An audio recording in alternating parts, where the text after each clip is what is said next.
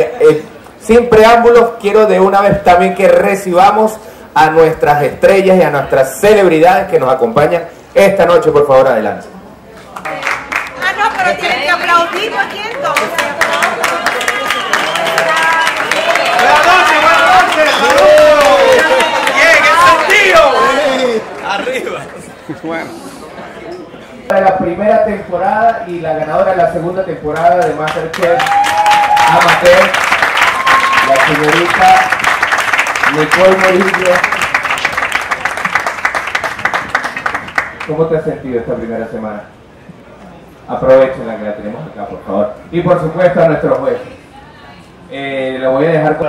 se, se- mucho, listado con mucho talento, eh, artístico, animadores, comediantes, eh, urbanos, y se evaluó, obviamente, tomamos en cuenta obviamente su disponibilidad de tiempo, su rango, su talento, el nivel de fama que tuviera, el impacto que tuviera, que, el nivel de fama que tuviera y, el impacto que tuviera para el programa, el compromiso y básicamente eso. Ah bueno, la gente apenas nosotros empezamos, nosotros apenas empezamos la- la- a promocionar esta temporada, la gente en las redes sociales comenzó a opinar y a dar opciones de, quién, de quienes querían. Y eso también fue una guía un termómetro este, muy claro de, de que de quién quería. Es que lo aman, esa gente lo ama. Es así.